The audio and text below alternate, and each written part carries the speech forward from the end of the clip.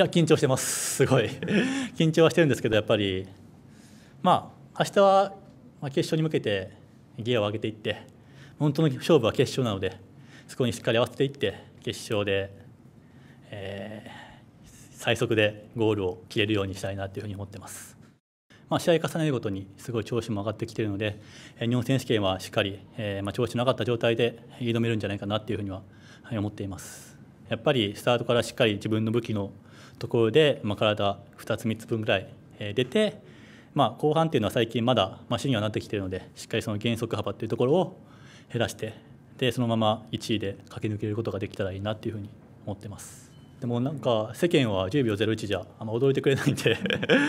やっぱ9秒台をしっかり、まあ、今回は勝負がメインなのでタイムはあまり、えー、こだわってはいないんですけど、まあ、いつかまた9秒をしっかり出せるように、えー、頑張れればいいなと思ってます。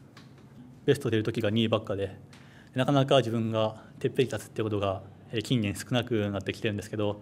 まあ、今回こそは本当にしっかり優勝を目指してただは強いんだぞっていうところをしっかり皆さんに見せつけたいと思ってますし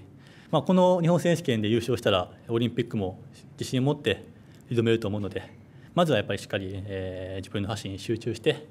で前だけを見てしっかり優勝を目指すことができればいいなというふうに考えています。